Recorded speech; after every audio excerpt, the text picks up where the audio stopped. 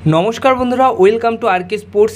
আজকের দিনটা হয়তো ভারতীয় ফুটবলের জন্য একটা কালো দিন, কারণ যে ভয়টা আমরা পাচ্ছিলাম সেটাই হলো ভারতীয় ফুটবলকে কিন্তু ব্যান করে দিল ফিফা ঘোর সংকটে কিন্তু আবার ভারতীয় ফুটবল হ্যাঁ তৃতীয় পক্ষের হস্তক্ষেপের কারণের জন্য এই শাস্তি কিন্তু ফিফা অবশ্যই ভারতীয় ফুটবলকে অফিসিয়ালি দিয়ে দিল।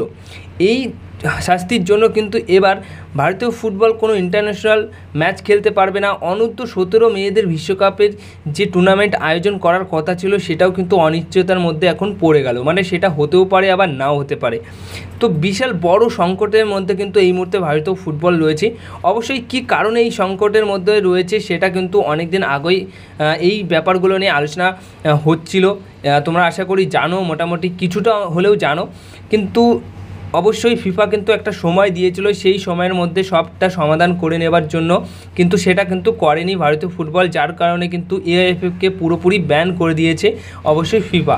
কিন্তু বন্ধুরা ফিফা যে অফিসিয়ালি বিবৃতি দিয়ে ব্যান করেছে, সেই বিবৃতিতে একটা কথা লেখা ছিল যে এখন এআইএফের ক্ষমতায় রয়েছে কমিটি অফ অ্যাডমিনিস্ট্রেট এর বদলে যেদিন থেকে নির্বাচনের মাধ্যমে নতুন কমিটি এআইএফএফের দৈনন্দিন কাজকর্ম শুরু করবে মানে কাজকর্ম শুরু করতে দেখা যাবে, ফিফা যেদিন দেখবে এই ব্যাপারটা সেই দিন থেকে কিন্তু এই নির্বাচন সরিয়ে নেবে বা এই শাস্তিটা কিন্তু সরিয়ে নেবে ফিফা। এটাও কিন্তু লেখা রয়েছে। এবং বন্ধুরা সবশেষে সেই বিবৃতিতে কিন্তু এটুকুও লেখা রয়েছে বা ফিফা ফিফা কিন্তু এটুকুও লিখেছে যে ভারতের কেন্দ্রীয় ক্রীড়া মন্ত্রকের সঙ্গে তাদের সমানে যোগাযোগ রয়েছে। তারা আশা করছে যে এই সমস্যার সমাধান এখনও সম্ভব রয়েছে এবং সেটা সমাধান হবে। মানে ফিফা কিন্তু এখনও আশায় রয়েছে যে ভারতের যে সমস্যাটা দেখা রয়েছে, দেখা দিচ্ছে বা এই মুহূর্তে রয়েছে ভারতীয় ফুটবলে, সেটা কিন্তু সমাধান করা সম্ভব হবে এবং সেটা করবে। তো সেই ক্ষেত্রে ফিফা কিন্তু অনেকটাই সাপোর্টে রয়েছে যে এই সমস্যার সমাধান যত তাড়াতাড়ি ইন্ডিয়ান ফুটবল বা এআইএফএফ করে নেবে, ততটাই ভালো তাদের জন্য এবং তারা যতটা সাহায্য করার দরকার ফিফা কিন্তু সেটুকু করবে, এটুকু কিন্তু সাপোর্টে রয়েছে। এখন দেখার যে এআইএফএফ কতটা তাড়াতাড়ি এই সমস্যার সমাধানটা করতে পারে। আর এর মেন ব্যাপারটা আমি যদি বলি তাহলে অবশ্যই প্রফুল্ল পাটেল, কারণ মেয়াদ শেষ হয়ে যাওয়ার পরও ফেডারেশনের সভাপতি পদে বসেছিলেন প্রফুল্ল পাটেল।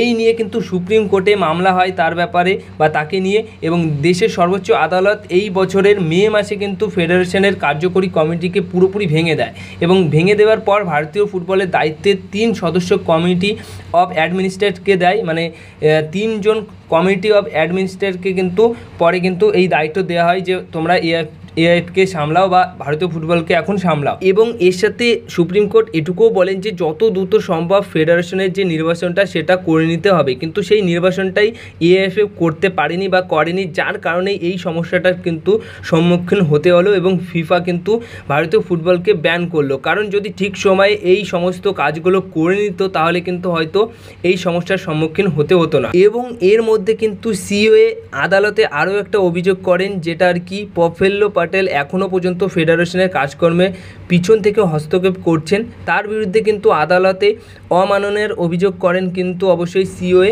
এবং এর সাথে এটাও জানিয়ে দিয়েছিল যে ছোটদের বিশ্বকাপের ফুটবল আয়োজন করার কথা ভারতে, তার জন্য হাতে মাত্র দু মাস সময় আছে এবং ফিফা কিন্তু পরিষ্কার করে সিওকে এটা জানিয়ে দিয়েছিল যে গণতান্ত্রিকভাবে ফেডারেশনের নির্বাচন হলে তবেই ভারতকে বিশ্বকাপ আয়োজন করতে দেওয়া সম্ভব হবে। এই বিষয়টা কিন্তু ফিফা পরিষ্কারভাবে জানিয়ে দিয়েছিল এবং এবং এই গোটা বিষয়টা পুরোপুরি এখন কিন্তু সুপ্রিম কোর্টের বিচারাধীন রয়েছে। ফেডারেশন নির্বাচন নিয়ে দেশের সর্বোচ্চ আদালত কি রায় দেয় তার উপর কিন্তু অনেকটাই নির্ভর করছে ভারতীয় ফুটবলের ভবিষ্যৎ। তো মোটামুটি এক কথা এটুকু বলতে পারি যে, কিছু কিছু ব্যক্তির জন্যই কিন্তু এই সমস্যাটার সম্মুখীন হতে হয়েছে ভারতীয় ফুটবলকে। যদি তারা চাইতো অবশ্যই ভারতীয় ফুটবলকে এগিয়ে নিতে, তাহলে হয়তো এই সমস্যার সম্মুখীন কখনোই হতে হতো না। এর সাথে বন্ধুরা, তোমাদেরকে আরও একটা বিষয় বলে দিই, যে ফিফা যে ব্যান করেছে, এই ব্যানের জন্য কি কি করতে পারবে না ভারতীয় ফুটবল? তো দেখো, ভারতীয় ফুটবল যে ফিফা অনূর্ধ্ব সতেরো মহিলা বিশ্বকাপ আয়োজন করতে চেয়েছিল, সেটা কিন্তু করতে পারবে না। ভারতীয় জাতীয় ফুটবল দল কোনো আন্তর্জাতিক ম্যাচ খেলতে পারবে না, যতক্ষণ না ইএফের ওপর থেকে এই যে ব্যানটা এটা উঠে যাচ্ছে। তো সেটা কিন্তু অনিশ্চিতকালের মানে অনির্দিষ্টকালের জন্যই রয়েছে মানে যখন তখন আবার উঠে যেতে পারে, আবার কখন উঠবে সেটাও কিন্তু বলা সম্ভব নয়। তো দেখা যাক কী হয় সেটা। কোনো ভারতীয় ক্লাব এএফসি মহিলা club championship AFC cup AFC champions league প্রতিযোগিতায় অংশগ্রহণ করতে পারবে না। যতক্ষণ না এই যে এআইএফএফ থেকে যে নিষেধাজ্ঞাটা রয়েছে সেটা উঠছে এবং সুনীলরাও কোনো এশিয়ান কাপের খেলতে পারবে না, তাছাড়া এটিকে মোহনবাগান দলও কিন্তু এফসি কাপ খেলতে পারবে না। এবং বন্ধুরা, ঘরোয়া ফুটবল নিয়ে কিন্তু কোনো রকম সমস্যা নেই, কারণ আইএসএল আই লিগ এবং অন্যান্য যে সমস্ত প্রতিযোগিতামূলক টুর্নামেন্ট হয়, যেগুলো আমরা দেখেছি, আট টিমের, ষোলো টিমের, এই সমস্ত প্রতিযোগিতাগুলো যে টুর্নামেন্টগুলো হয়, সেই টুর্নামেন্ট আর আইএসএল আই লিগ এই সবটা কিন্তু এখন এক হয়ে গেছে। মানে আর এর মধ্যে কোনো কম্পিটিশন নেই মানে সবটাই এখন এক। তবে নতুন করে কোনো বিদেশি প্লেয়ার আর কিন্তু সই করানো যাবে না। যারা যে দল যে কটা বিদেশি প্লেয়ার সই করিয়েছে, সেই কটা বিদেশি প্লেয়ার নিয়েই খেলবে। এবং এই মুহূর্তে ভারতীয় ক্লাবে যে কটা বিদেশি প্লেয়ার খেলবে, সেই কটা বিদেশি প্লেয়ার কিন্তু অন্য কোনো দেশে খেলতে পারবে না। ফিফা বিদেশি খেলোয়াড়ের চুক্তি ভঙ্গের অনুমতিও দিয়ে দিয়েছে। মানে এখন যদি কোনো বিদেশি প্লেয়ার চায় যে এই ভারতীয় ক্লাবের হয়ে খেলবে না, তারা চুক্তি ভেঙে অন্য কোনো দেশের লিগে অন্য ক্লাবে খেলবে, তারা কিন্তু সেটা করতে পারবে। এই হচ্ছে মেন ব্যাপার। মানে এই ফিফা ব্যানের জন্য এই সমস্যার সম্মুখীন কিন্তু এখন হতে হবে। তো টোটালি মানে ফিফা ব্যান যেহেতু করেছে মানে ভারতীয় ফুটবল আর ভারতীয় ফুটবল নেই, এটাই কিন্তু তোমাদেরকে বলতে পারি এবং খুব তাড়াতাড়ি আশা করব যে এই নিষেধাজ্ঞাটা যেন উঠে যায় এবং সেই সমস্যার সমাধানটা কিন্তু ফিফাও চাইছে যে এআইএফএফ বা ভারতীয় ফুটবল তাড়াতাড়ি সমস্যার সমাধানটা করে নিক। ফিফা কিন্তু সেটার ফুল সাপোর্টে রয়েছে।